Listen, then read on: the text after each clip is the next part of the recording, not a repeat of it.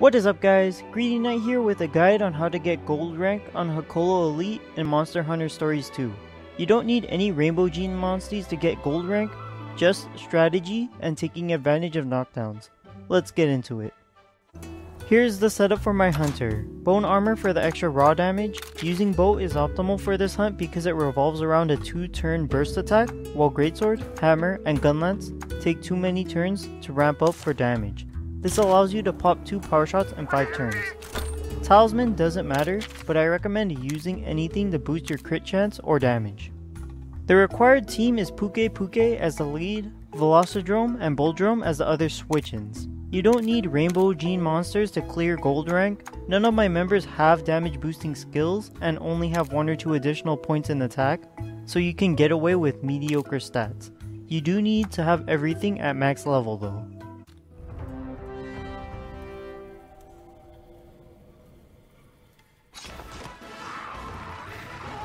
You lead with Pukei to attract the aggro of Bulldrome, you swap out for Velocidrome. If you have enough kinship, use Killer Strike, otherwise use your speed attack to perform a double attack. Either way, Bulldrome will proc a Power Clash at the end, which will give you enough kinship for the entire hunt.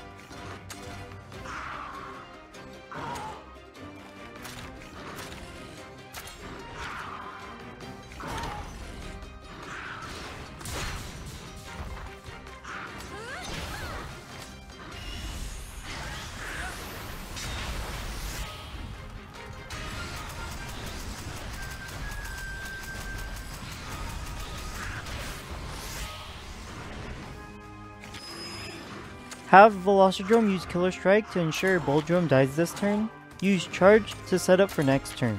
Let the turn play out, and Kulu should drop in after everyone does their action.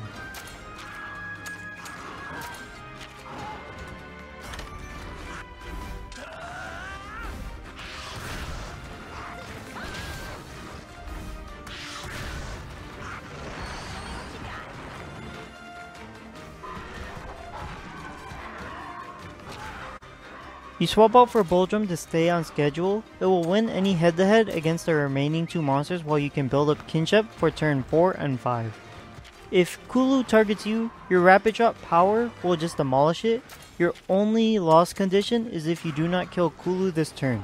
Missing a single attack or losing a head-to-head -head will end the run. That being said, Kana's Velocidrome is the weak link in the team. If Kulu targets it, the run is as good as over, but I think Kulu prefers to target your powerful Velocidrome over Kana's, so it shouldn't be an issue.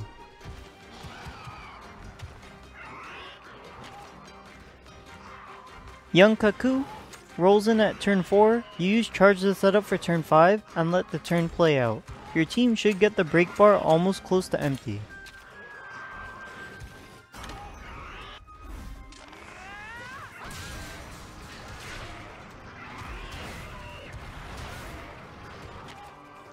Have Bulldrome use Lethal Tackle while you use Rapid Chop Power. Kana and Velocidrome will proc the break, tripping Kutku. This causes all attacks to become critical hits, and it causes Lethal Tackle to have a guaranteed hit, in my runs at least.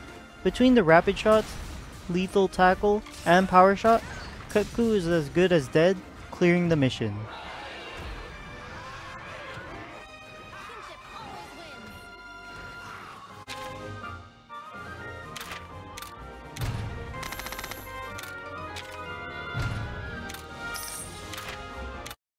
The run itself isn't hard, but figuring out an optimal path is.